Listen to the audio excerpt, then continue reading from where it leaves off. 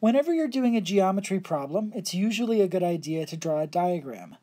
In this case, we're looking at a square that's cut into two rectangles, so we should draw a square and cut it into two rectangles. We don't know the side length of the square, so let's let that be x.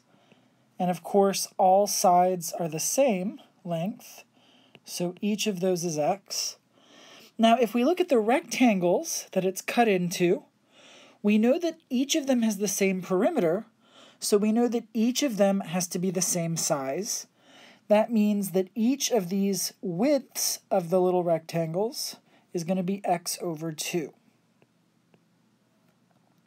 I'm going to draw all these in, even though we won't need all of them. And of course, the line that cuts it in half also has length x. So what I want to do now is I want to look at just one of the rectangles. Let's look at the bottom one.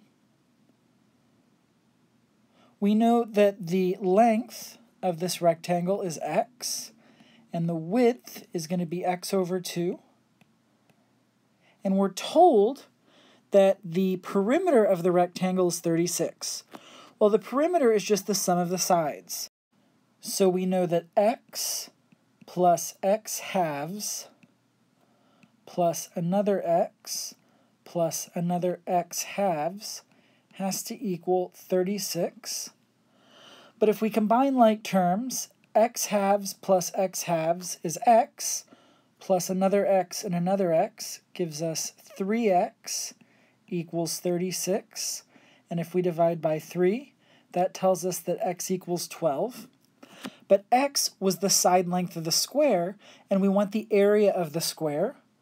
We know the area of a square is the side length squared. In this case, that's 12 squared, which is 144, and that is answer choice D.